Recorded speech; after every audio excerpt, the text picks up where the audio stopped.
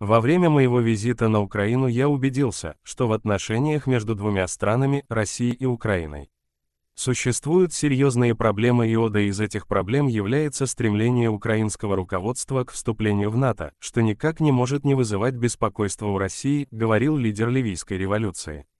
Полковник сравнивал экспансию НАТО на восток с попытками Наполеона и Гитлера завоевать Россию.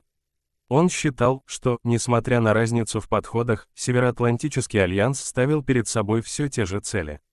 По мнению Каддафи, после распада СССР Запад посчитал себя победителем и решил, что он с легкостью может переманить к себе на орбиту страны Восточной Европы, постепенно окружая Россию все больше и больше. Он считал, что сам факт наличия у НАТО желания подчинить и в некоем смысле задавить Россию уже сам по себе указывал на то, что Россия является сильным государством, которому нельзя с легкостью диктовать свои условия. Во время моего